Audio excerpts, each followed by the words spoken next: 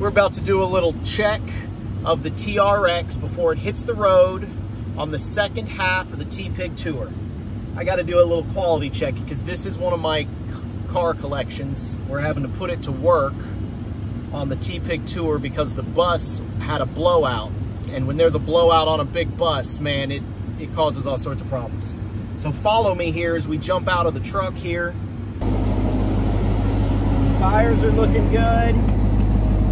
So all of our event, all of our event stuff will go in the back here. We already had the camper ready to go. We'll hook up the T-Pig Jeep, hashtag that poop Jeep, and we will be flat towing this thing all over the country. It's got a fresh oil change thanks to Brian Jones. So, T-Pig crew, take good care of this thing. Because I'm hoping to keep it for a while.